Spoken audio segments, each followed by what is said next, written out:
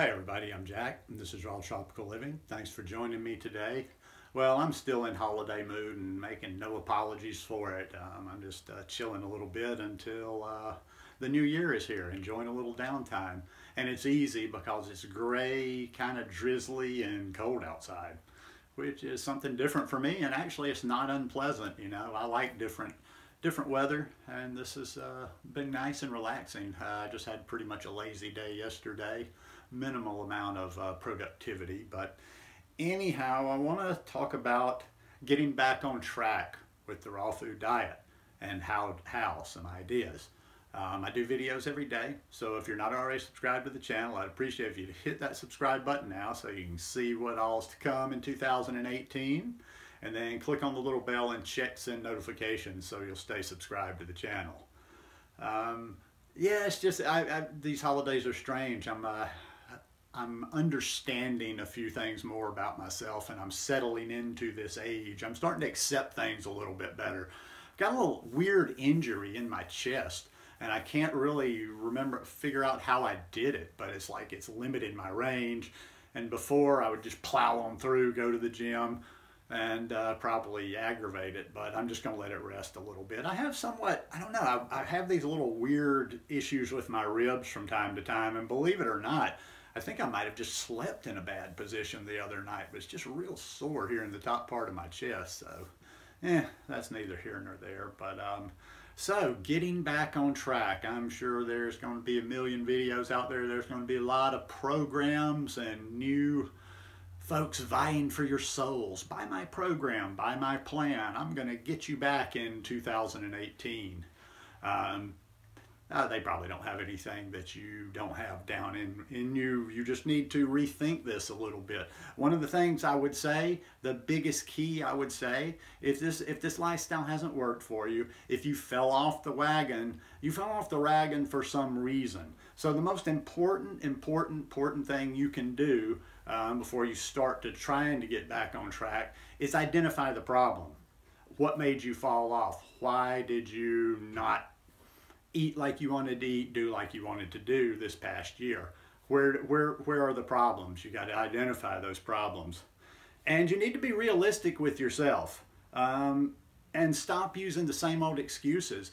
Um, I see people all the time and it doesn't make a lot of sense. It's like me, the logical robot being is just like, okay, well you're not really saying anything there. It's like you're you're saying all your problems, but you don't have any, you're not even offering yourself any possible solutions and it's almost like you're trying to justify yourself to somebody else. Nobody else cares if you are raw vegan, if you eat a raw food diet. That's all on you. Now there's people like people that want that are more than happy to help you along the way but you know sometimes it's just like you're trying to help somebody and they just you you try to offer an idea to one excuse and then oh but i can't do it. And everything you throw out at them they shoot it down and you just kind of, and to be quite honest that frustrates people that are trying to help. It's just like well shoot. You know if you're not going to do anything for yourself other people are less inclined to keep trying and trying and trying.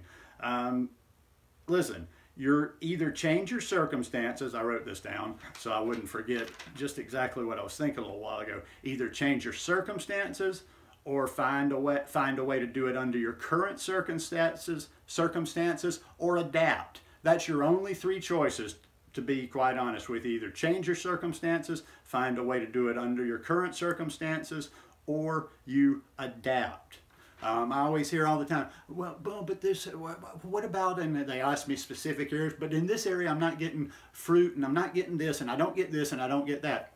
That's probably not going to change. I doubt very seriously that, you know, so things change over time, but I doubt very seriously, wherever you're sitting in the world listening to this right now, that all of a sudden in next year, a few week from now, that big old big old trucks are going to roll up into your town or roll up to your market or wherever you buy your stuff and just dump a bunch of tropical fruit and a lot of new stuff there. And all of a sudden you go from not having any fruit to wow now I have choices of everything.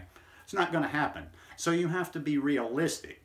Um, what do you have to make do in um, this lifestyle you know, what, what fruits do you have? What greens are available? How, what is the best way you can do this lifestyle under your circumstances? Or, as the other option I was going to say, change your circumstances. Pick up, sell the house, sell the car, do whatever you got to do, and move to somewhere where you are able to get the food that you need to do this lifestyle.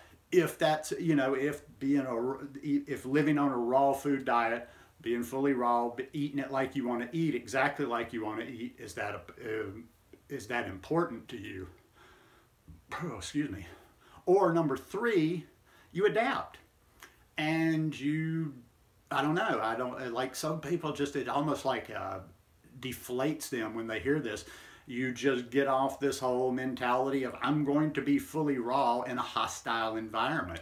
Um, this uh, there's so many people trying to be fully raw just for the sake of being fully raw in hostile environments. Listen, if it's at all possible and you can make it work, do it. But if you're causing yourself all this mental stress, mental anguish, you're, you're quite likely offsetting the good you're doing with the food with the stress that you're putting on your mind and on your body.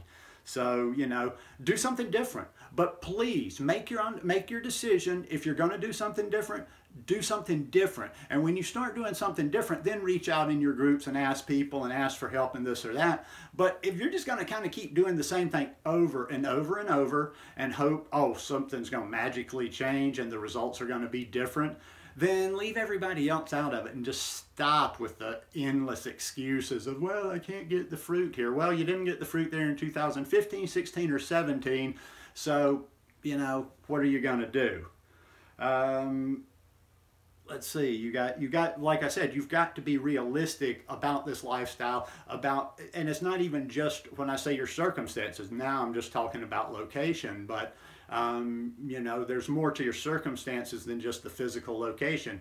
Uh, maybe you have a family you know uh, i gotta imagine i've talked to a couple of people through the holidays and i i love um, you know, being able to talk about this in a more rational, intellectual manner than you can in groups and in public forums where you don't know who's out there and there's different sensitivities, there's different intelligence levels, there's different comprehension levels.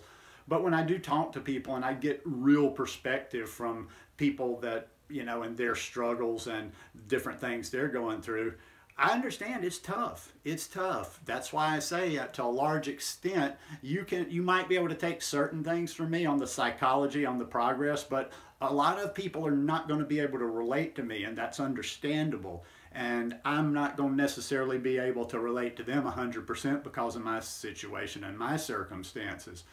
I didn't have anybody fooling with me when I came to this lifestyle. I figured this stuff out. I didn't have distractions.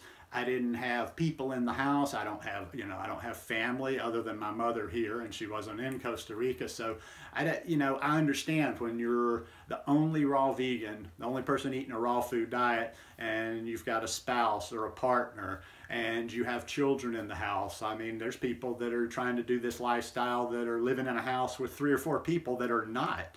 Um, now I could do that. I could go into your house, eh, like if you invited me to come stay, I could go into your house. There could be Oreos all over the table, Doritos, there could be barbecue ribs, KFC, there could be booze all over the place.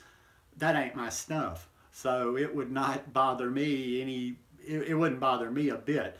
But I try to think back, what if um, I had had to deal with these type things, you know, in the beginning? So what I'm getting at here is sometimes it's just, there's no shame and just saying you're going to do the best you can do. Um, and that is much, in my opinion, that's a much healthier um, way of thinking than just beating your head against the wall all the time. There's a lot of people, and I'm never going to say that directly to somebody, but you just see their story, you follow their story for a while, and you just say in your head, unless a miracle lightning strikes or something like the lottery, odds of the lottery, you're never going to be a fully raw vegan. You're never going to follow a raw food diet 100%. But if you if you are determined you know, whatever level you're at, whether you're where you just want to eat a healthy version of a raw food diet and eat mostly raw foods, and when I say mostly, I'm going to say 75% and up, or whether you do say, nope, I don't accept that, Jack. I'm going to be, I'm going to follow a fully raw food diet here where I am well, then you really have to put some thought. You really have to put some planning into it. You can't just do it willy nilly. And the more you struggle, the more effort you have to put into it. Sometimes it's not fair. Some people just take to this diet. Um, you know, a lot of the things that I recommend here, I don't do. I didn't have a plan. I don't really have a plan now. I don't journal. I don't write down what I eat. But once again, I didn't have the I didn't have the things, you know, the distractions when I came to this lifestyle, so I was easy to slip into it, maybe easier than some people. So I didn't need to do that.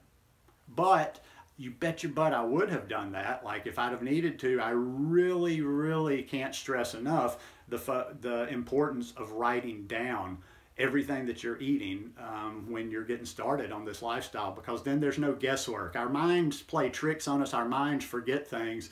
You know, if you're trying, if something's not working for you and you're trying to think, okay, what have I been eating over the past three or four weeks? Well, your mind's going to just have these generalities. Well, I do eat these banana smoothies. I eat this. I eat that. But it may not. It may eliminate some of those th those problem spots. You're not going to remember everything. But if you have, and this isn't my food journal, but I keep little notebooks around. But if you have your food journal, you go back and you see day by day. You're like, okay, for the last three weeks, I've eaten this, this, this, this, and this. Um, I don't know think of new things where new outlets where can you get fruit from? Or there you know maybe you have um have you if you've only shopped in your one small little town or even in the area where you are uh, expand your circle a little bit. Google google farms google produce or google organic produce uh, google fruit you know reach out um, one thing I would really like to see uh, is some of these groups on this lifestyle becoming a little bit more useful instead of just sitting around all day babbling about the ins and outs of a smoothie or how to eat fruit. It ain't that complicated. Maybe we start networking out there. Maybe we start reaching out to each other. Maybe we start figuring out how I can help you, you can help me. If I'm in an area, you know, within the same country, when you get in different countries, it's a little bit tough on what on shipping. You know, help it help somebody out. Let's have we could have partnerships out there. Maybe you're in an area of the country where you get uh, one particular fruit in abundance and you get it at a really cheap price. I'm hinting out there mangoes. I, I, see people all the time talk about these ridiculously cheap prices they are getting on mangoes and they're good here within the U.S. All right, hey, box me up some and ship them to me. Now I'm not asking, you know, I'm not I'm not saying send me this nice big gift, but you know, I've I've done the math a couple of times and I hear people like telling saying, "Oh, I'm getting this this this right now. Wow, look at this price." I'm thinking I'm calculating. I'm thinking, "Okay, if I paid you for that and even paid the shipping on top of that, it would be worth it to me." But you know, reach out, network network and see how maybe you can share some fruit. That's a little bit tougher, but also reach out to each other for support. Once again, stop just this, hone your process. Stop just this babbling in a group. Hey, I do this and that. What does everybody think? You're going to get 436 answers from no, people that you don't even know. You don't know anything about them. They could just be babbling back to you. Form some little support groups if you've had a problem on this lifestyle, there's people out there all over. You could not find one group. I would almost guarantee if you're in any raw food groups out there, you will not, there's not one group that don't, doesn't have X amount of people that are struggling on that. Get three or four people that are your Facebook friends or some other social media platform or somebody you know online, or if it's in person, even the better, and support and form this support system you know, back each other up. If you're having a hard time, if you're struggling at a certain time, have yourself be able to chat with them, have some sort of a communication, you know. We're, this is a this is a amazing world we live in. I can I chatted with somebody for two hours yesterday from the UK. I talk to people all over the time. I can go live on Instagram. I can reach out and get answers all the time. And you bet your ass it's not going to be because I just put a general, hey, what does everybody think about this on Facebook or something. So to sum it all up, change what you're doing to get what you want. If it's not working, change it. If that doesn't work, try something else.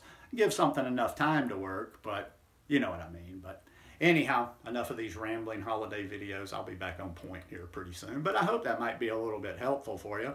If you like this one, please give me a thumbs up, and I'll see you again tomorrow. Peace.